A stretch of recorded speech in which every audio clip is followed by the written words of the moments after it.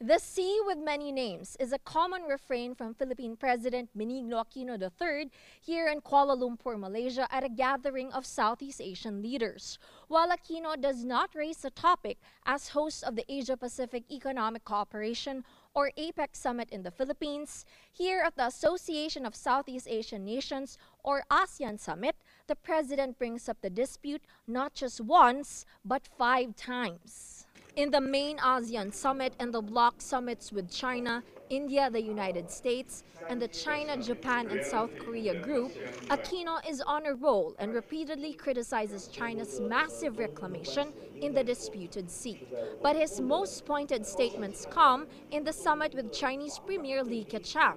In the closed-door remarks, he says Beijing must take the lead in finalizing a legally binding code of conduct on the South China Sea as an older, richer, and more powerful nation. He also urges his fellow ASEAN leaders not to allow China to use force or threat to claim an entire sea. Terrorism also dominates day one of the two-day summit, as Malaysian Prime Minister Najib Razak condemns the recent spate of attacks in the region and the world. We are ever vigilant against a threat that is very real in our region.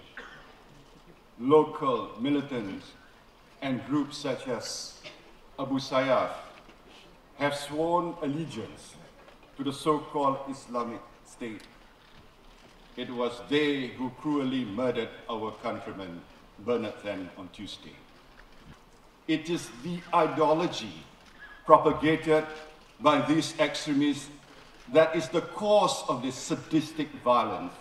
And in this time of tragedy, we must not lose sight of the fact that the ideology itself must be exposed as the lie that it is and vanquished.